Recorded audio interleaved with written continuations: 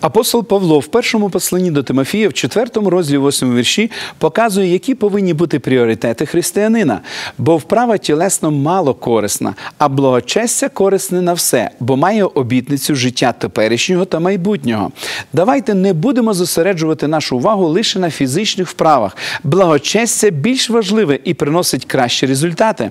Дехто віддає перевагу фізичним вправам бігу, футболу, баскетболу, волейболу чи іншим видам спорту. Нехай вони не займають перше місце у вашому житті і не забирають ваш час, призначений для Бога.